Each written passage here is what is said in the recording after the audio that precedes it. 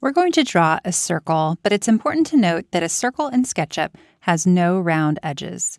If I zoom in on this circle, you can see that it's actually made up of straight edges. And the more edges a circle has, the smoother it's going to look. So let's create some circles that look a bit jagged, like this one, and then we will smooth them out. To create a circle, you can use this icon here, which is found in the drop down right underneath the rectangle tool. Or you can use the keyboard shortcut letter C.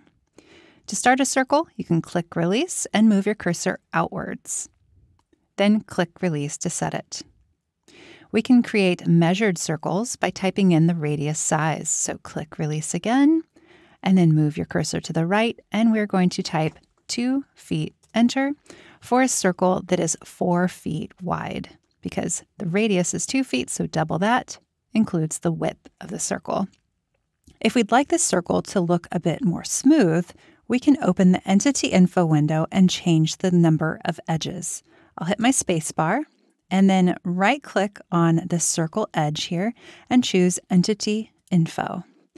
And this Entity Info window gives us information about what is selected. And in this case, we have a circle selected and it has 24 segments around the edge. So we can simply highlight that and overwrite it. Let's type 50, enter, and you can see immediately that the circle smooths out because it has more edges for a smoother look. We can bump that all the way up. Let's go to 90, enter for an even smoother look. But just remember if you add more and more segments to the circle, the file size and the polygon count is just going to continue to go up. So you need to be cognizant of how much geometry you add to your models and decide whether that smoothness is going to be needed as you take up your allotted polygon count for your file. To draw an ellipses or an oval, we can simply draw a circle like we have here, and then use the scale tool, the letter S or this icon.